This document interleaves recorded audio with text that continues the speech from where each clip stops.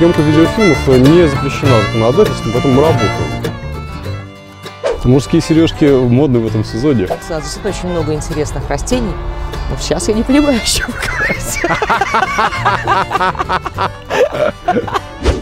Ну что, дядя Шарик, готов начать фотоохоту?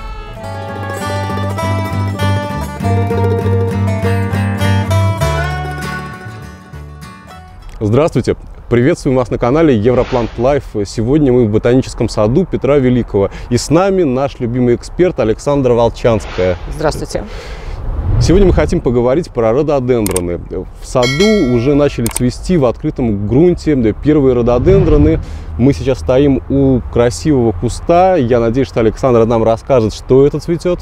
Да, это один из первых распускающихся рододендронов. Э, в данном конкретном Э, случае это рододендрон остроконечный или рододендрон макронулятум, э, но в широкой публике они больше знакомы под названием рододендрон ледебур или рододендрон тихотинский. Все дело в том, что это несколько видов, которые различаются ареалами в первую очередь, то есть они существуют в природе на изолированных территориях друг от друга, поэтому в природе они не гибридизируют. Но как только они попадают в культуру, соответственно, они переопыляются, и сеянцы чаще всего уже имеют признаки гибридные. Поэтому четко назвать какой-либо вид всегда затруднительно. Ну, нам больше всего интересно, насколько растение зимостойкое, ну, вот этот вот как раз-таки красавец абсолютно зимостойк, он способен выдерживать температуру до минус 30 градусов, э, потому что вся эта группа, вся эта секция рододендронов, а, так называемые э, рододендроны секции азалиаструмы, они все живут в природе в достаточно суровых условиях, например, высокогорье Алтая, Сихоте Алине, то есть они действительно самые-самые зимостойкие рододендроны, самые, пожалуй, нетребовательные в уходе и совершенно беспроблемные для садоводов и любителей. Ну, минус 30 – это зона, третья зона морозостойкости. Да? Это вообще совершенно Не требует прекрасно. укрытия никакого.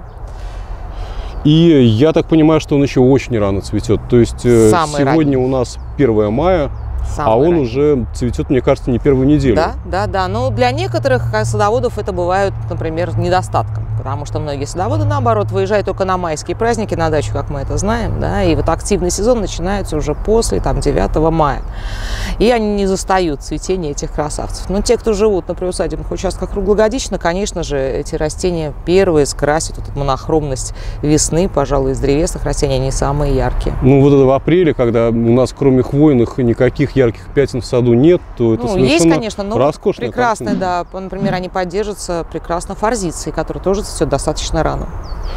Хорошо, а скажите, что еще из рододендронов э, можно застать вот на пике цветения в такое время года, апрель, май? Ну и, пожалуй, еще из самых ранее цветущих вечно зеленых рододендронов у нас есть такой интересный экзот, как рододендрон море.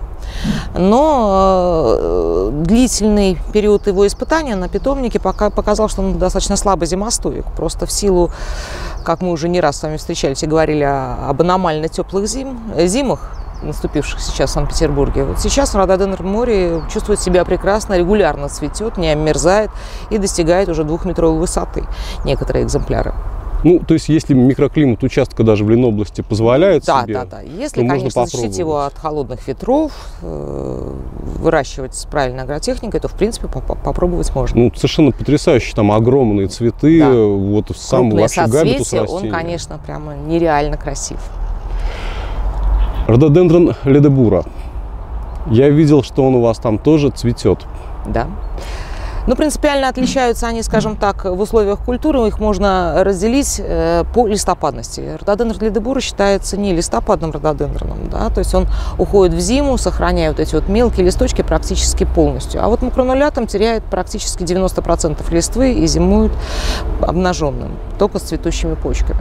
Это, пожалуй, вот скажем так, видимые визуально не профессионалам признаки, по которым можно различить эти рододендроны. Ну вот сейчас, да, систематики постоянно что-то меняют и э, что-то причисляют к азалиям, что-то к рододендронам. Э, постоянно происходит какая-то путаница. Многие считают, что вот, например, азалии это исключительно оранжерейные растения, которые в открытом грунте не зимуют.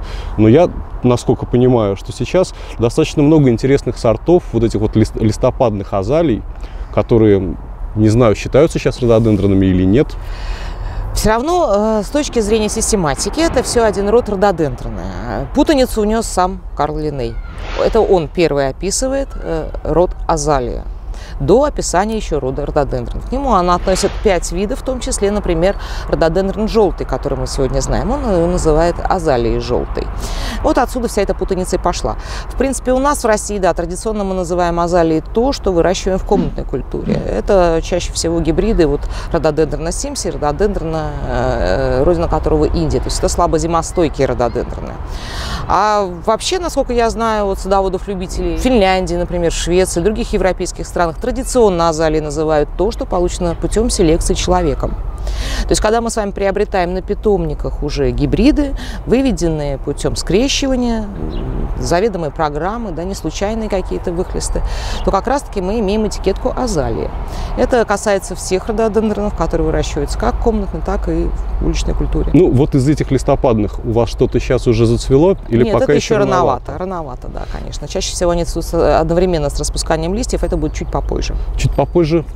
Это, это буквально на этой же неделе, только в конце, наверное.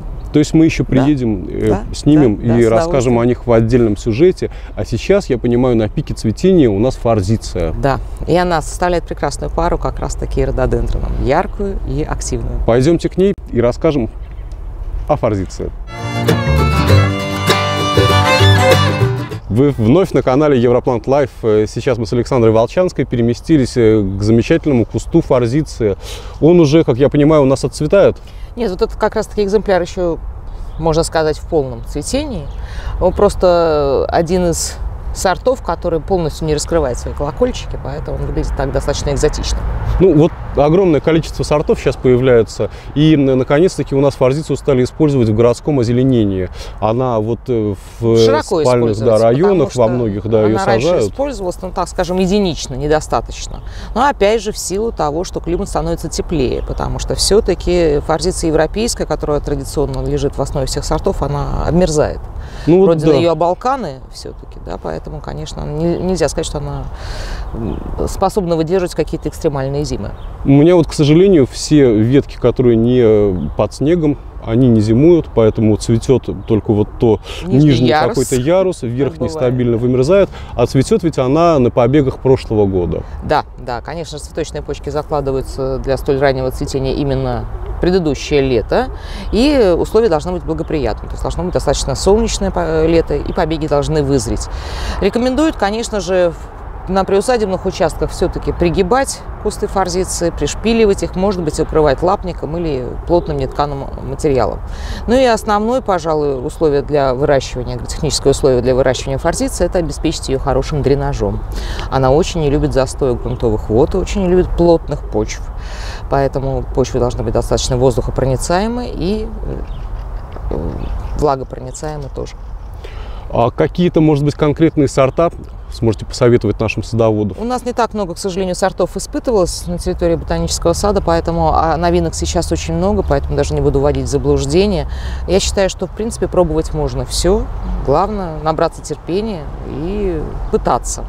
Ну вот да, к сожалению, у нас наши садовые центры и питомники часто вводят людей в заблуждение, говоря, что вот эти вот растения прекрасно зимуют, а оказывается не так. И многие вот такие рано цветущие кустарники, они оказываются у нас в зоне риска. Ну, мне кажется, что вот перспектива озеленения города форзиции была бы, мне кажется, прекрасна. Мне кажется, в городских условиях, вот даже Санкт-Петербурга, она перезимовывает практически вся. Да, и недаром ее любят, в общем-то, во всех европейских странах. Мы знаем, что очень много можно форзиции встретить в той же самой Риге, да, хоть там, может быть, чуть помягче климат. Но действительно очень любят, потому что это яркий акцент, весенний акцент при практически отсутствии листвы и ярких пятен каких-то в городе дает такой яркий, объемный цвет который как раз-таки формирует ландшафт. Это, конечно, очень важно. Это не, не только многолетники, которые покрывают газоны, но и тот самый объем, который необходим саду и ландшафту. Ну, вот я мечтаю, что у нас в Петербурге было бы действительно такое красивое весеннее озеленение, когда будут цвести вишни сарженты, сакуры. Да, да, хотелось бы. Какие еще, как вы думаете, можно было бы посоветовать для городского озеленения кусты? Я понимаю, что рододендроны, наверное, в условиях загазованности города будут не очень хорошо, наверное, себя чувствовать. На самом деле листопадные рододендроны вполне могут чувствуют себя прилично, потому что многие из них даже не настолько, они требовательны кислотности почвы, конечно, требуют э, кислой среды именно, но есть виды и сорта сейчас, которые вполне можно высаживать и в, городской, в городском озеленении. Есть другой вопрос и момент. Чем ярче, декоративнее цветет кустарник, тем, к сожалению, больше опасно того, что недолго он будет цвести на этом месте. А вот так вот. Воруют иногда у нас, и это до сих пор не редкость, даже в ботаническом саду. К ну да, так. к сожалению, такая проблема присутствует. Расскажите немножко еще по уходу, по агротехнике, по обрезке, например. Я Очень видел, благоприятный, их... да, да. Кустарник, он как раз-таки вот из форзиции можно выращивать даже живую изгородь, которая совершенно роскошно цветет. Можно стричь в шарик, можно заняться топиарным искусством с ней. То есть действительно очень благоприятное растение. Стригут его уже после цветения э, и укорачивают наращивать даже рекомендуют, настоятельно рекомендуют э, более чем наполовину длины побега. Это позволяет э, расти новым, молодым, крепким побегом, на которых сформируется здоровое большое количество цветочных почек.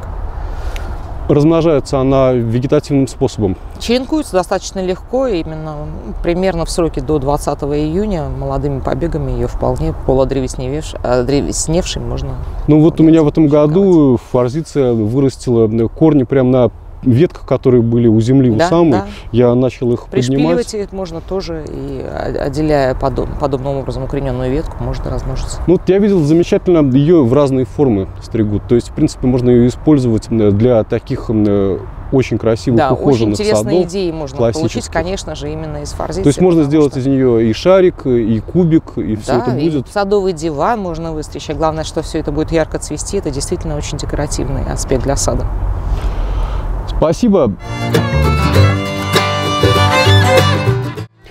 Александра, ну, посоветуйте какие-то сорта все-таки форзиции, которые э, стоит поискать нашим садоводам, э, чтобы растение действительно хорошо зимовало, не вымерзало, радовало цветением каждый год. Ну, пожалуй, из таких вот самых любимых мной сортов, которые представлены у нас в ботаническом саду, это очень крупноцветковые, яркие, с лимонно-желтыми э, цветками сорт Ленвуд Голд есть такой. Действительно очень крупные цветки, пожалуй, раза в два, в три больше, чем вот на представленном экземпляре. И цвет малость, скажем, нежнее лимонно-желтый. И есть еще такой замечательный сорт, как Беатрикс Фердинанд, который радует обильным цветением, потому что э, соцветия формируются очень крупные. То есть он тоже становится, скажем так, намного пышнее и ярче выглядит. Спасибо. Смотрите канал Европлант.